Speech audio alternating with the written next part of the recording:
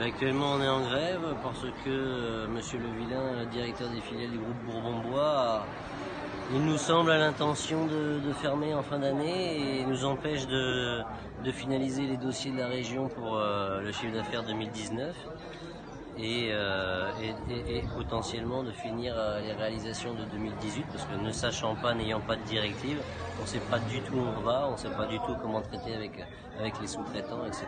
Donc euh, on arrive à un point de non-retour un petit peu où on attend des réponses euh, effectives de savoir s'il veut vendre, s'il veut continuer.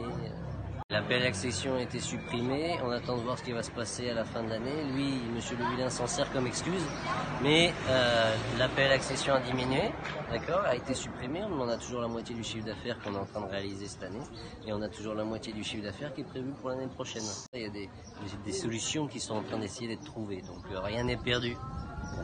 Combien d'emplois sont en péril J'ai vu qu'il y avait une quarantaine d'emplois. la, la totalité est en péril, hein. on doit être encore 63, il y en a 22 qui sont en activité partielle actuellement, activité partielle qui n'est pas validée d'ailleurs par, par la DIECT, donc il ne fait pas économiser du tout d'argent à Bourbon-Bois. Et euh, son, son PSE, oui, c'est c'est 44 personnes, il n'y aurait que 19 personnes qui resteraient pour, pour je ne sais pas quoi. Finir les travaux, c'est déjà, déjà pas suffisant pour finir les travaux, donc euh, on parle même pas de rebondir.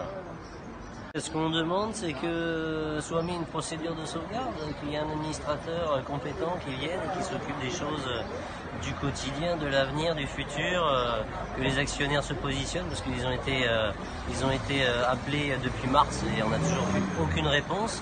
Et euh, ben, Le Vilain qui a pris les rênes d'une façon ou d'une autre ne dit rien, ne communique pas, on ne sait pas où on va.